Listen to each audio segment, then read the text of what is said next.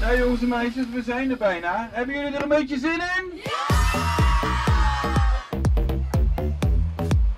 Daar zijn ze dan.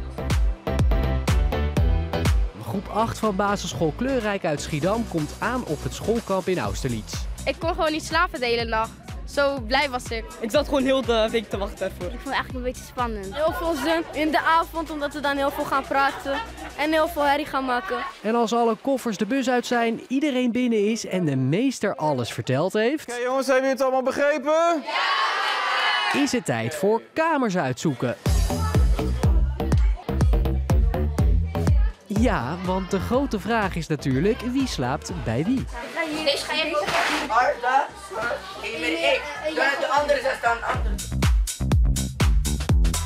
We hebben suikerspin, popcorn, we hebben Doritos. Een meisje uit onze klas heeft deze uitgedeeld aan iedereen. Gewoon messen afmaken. Gaan jullie dan vanavond ook nog stiekem naar de jongens toe? Nee. Ik hoef die vieze geur van hun niet. Tja, of ze nou wel of niet bij elkaar op de kamer komen, blij mogen deze kinderen wel zijn. Verder zijn schoolkamplocaties in heel Nederland namelijk helemaal vol geboekt. We hebben totaal in Nederland 36 verblijven. Eh 10 staan er hier op het terrein en ze zitten helemaal bomvol. En dat heeft verschillende redenen. Zo hadden sommige verblijven door corona niet genoeg geld meer, ze moesten sluiten. En sommige groepsterreinen worden gebruikt voor de opvang van Oekraïense vluchtelingen. Er zijn dus minder terreinen over voor schoolkamp.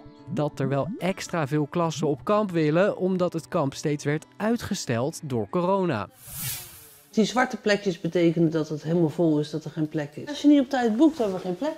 Gelukkig voor deze groep 8 had meester Richard vorig jaar al gebeld. Omdat ik weet dat het gewoon heel erg snel vol zit. Dus dan probeer je daar zo vroeg mogelijk bij te zijn. De kinderen hier maken zich niet druk om volle verblijven. Zij willen vooral genieten. Ik vind het echt erg gezellig. Je bent met je vrienden. Een soort van een slaapfeestje en zo. Vind ik wel eigenlijk heel leuk. Over een paar weken is het zomervakantie en gaat ook deze klas uit elkaar. Ik ben er best wel verdrietig. Ik ga ze heel erg missen, want het, we zitten al bijna heel ons leven zo. Want dan zie ik sommige van mijn vrienden niet meer. Ik vind dat ook weer niet leuk, maar het moet. Maar voor nu is het nog vier dagen samen zijn hier op groep 8 kamp.